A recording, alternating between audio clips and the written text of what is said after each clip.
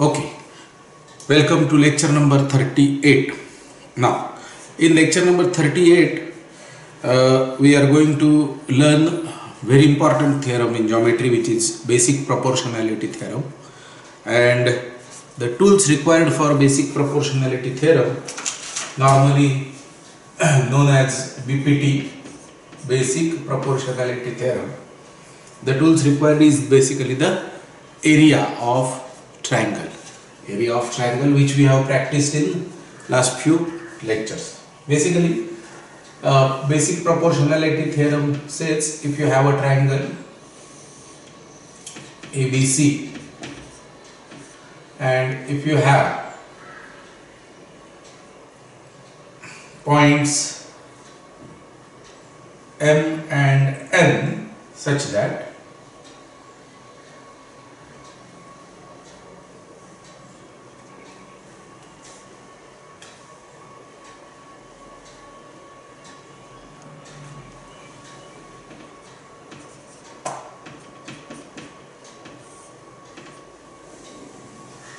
Points M and N are taken such that if you, if you draw a line parallel through any point M, it intersects AC at N.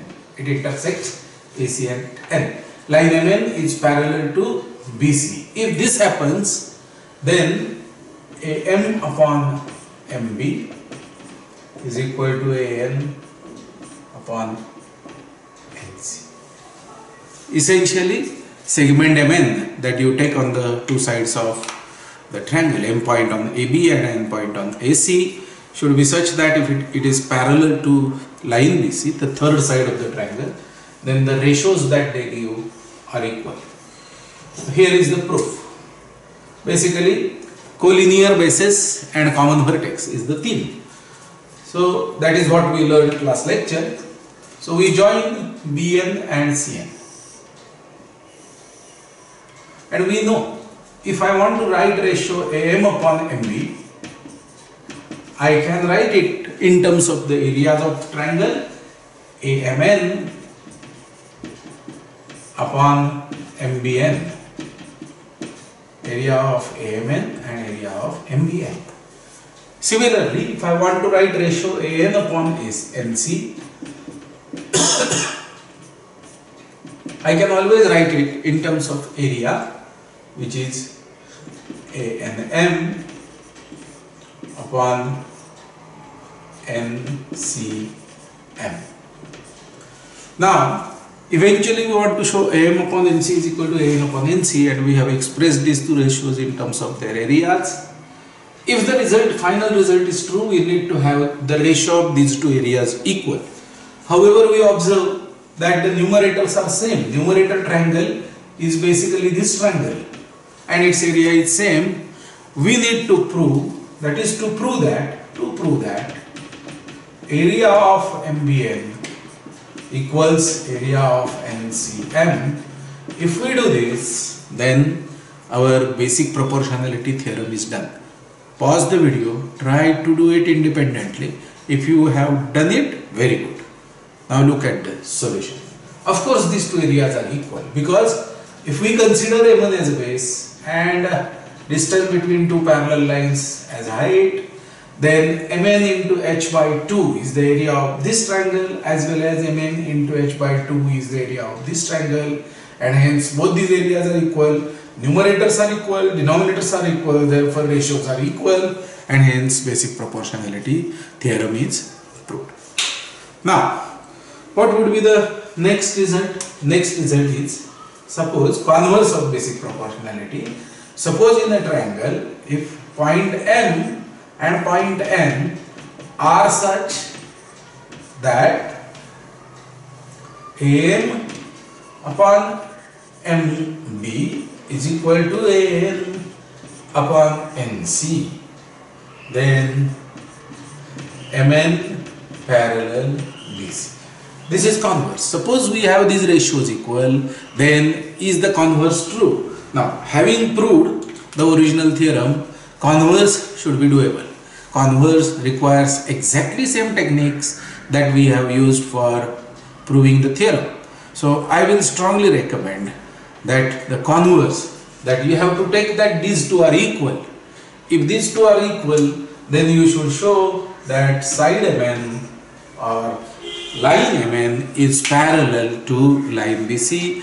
Proof is absolutely simple, exactly similar to what we have done in original theorem. So try to do your proof. If not done, maybe look at this. It is simple. If AM is equal to M, M upon MB is equal to N upon NC, that means this is equal to this. That means these two ratios are equal. Out of which numerator is equal, therefore denominator must be equal. Therefore, these two must be equal. And they are the areas are bounded between two parallel lines. Of course, they, they, they have the same base and therefore if the areas are equal, same base is equal and therefore height must be equal. And height of MN from BC if it is equal then MN must be parallel. That is how the solution of converse of BPT goes. So these are absolutely important because these theorems will be useful to us to prove similarity and hence one must understand the proof of these two. Without using similarity it is based on the area.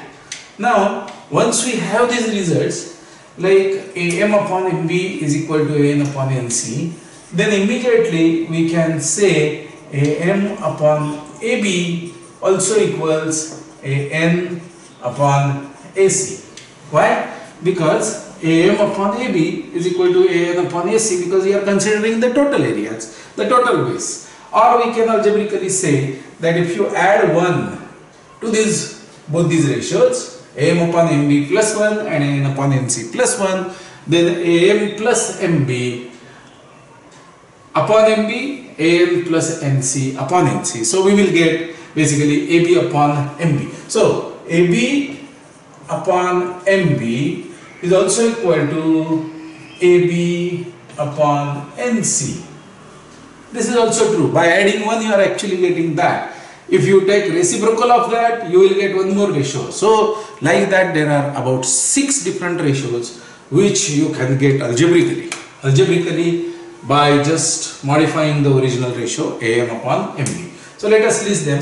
First ratio is say AM upon MB. Am I visible here? Yes. Suppose AM upon MB. This can produce, of course, MB upon AM. This can produce by adding one, we have produced AB upon MB. Reciprocal of this will be MB upon AB. Now, again I can take first reciprocal and then add one MB plus AM numerator will become AB so AB upon AM I can produce. Similarly I can produce AM upon AB so whatever operation I am doing in producing these five results out of first if I correspondingly do the same operations on RHS on AN upon NC this is equal to an upon nc an upon nc will produce nc upon an and hence these two will be equal. Then ac upon NB, nc we can produce by adding 1 so this will be equal. Similarly NC upon AC by taking reciprocal, these two will be equal. Similarly, AC upon AN, these two will be equal. And similarly AN upon AC, these two. So basically you can get six different ratios equal if MN is parallel to BC and if any one of those six ratios are equal then you can prove MN is parallel to BC. So these are called extensions of basic proportionality theorem uh, and the converse of extension of basic proportionality theorem which we can uh, very easily prove. The third result in today's lecture is suppose we have three parallel lines. Suppose we have three parallel lines. L1, L2 and L3